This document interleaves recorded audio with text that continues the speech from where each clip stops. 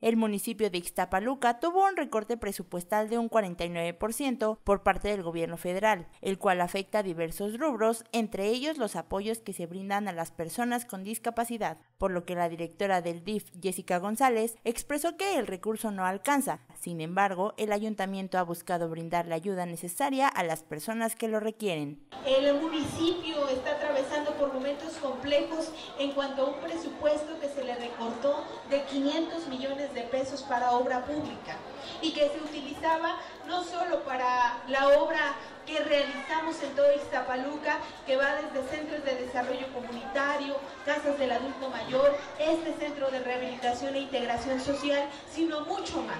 Nuestra visión es más grande, Nuestro, nuestra visión como proyecto es darle mejores condiciones a todos los iztapaluquenses, que tengan una vida digna y decirles que efectivamente, aunque nosotros seguimos sosteniendo este apoyo de 500 pesos bimestrales, pues yo siempre he dicho que no es suficiente. Como cada bimestre, el DIF municipal hizo la entrega del programa de apoyo económico municipal para personas con discapacidad, en donde además entregaron sillas de ruedas y aparatos de audio a los ixtapaluquenses. La directora del DIF adelantó que continuarán realizando diferentes gestiones para mejorar las condiciones de vida de las personas con capacidades diferentes del municipio. Ya se va a poder tramitar las placas para discapacidad, no hasta Toluca, sino nos, nos harán un módulo aquí en Galerías Ixtapaluca.